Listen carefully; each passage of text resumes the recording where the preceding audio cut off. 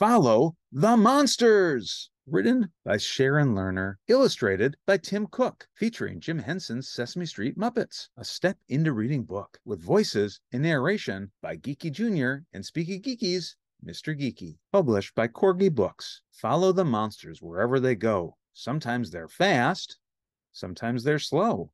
Follow the green one, the red and the blue. Follow the old one, the baby one too. Follow them up, follow them down.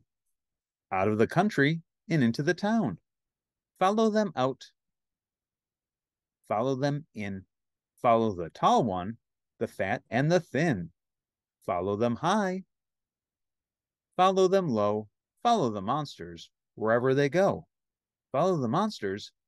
They all know the way. All through the night and on into the day. Stop with the monsters. It's time to eat lunch. They want a short rest and something to munch. Eat with the monsters. A sandwich is great. And then for afters, eat your cup and your plate.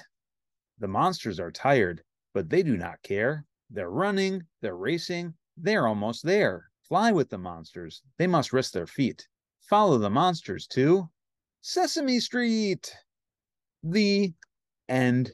Follow the monsters in and out, up and down, out of the country, into the town. Where are they going? All in a row? Follow the monsters, then you will know. Sesame Street fans will like reading this funny story all by themselves. Don't forget to visit Geeky Jr. for more of the stories that you love, only on Geeky Jr. and Speeky Geeky. Ask a parent or guardian if you can subscribe to Geeky Jr. today.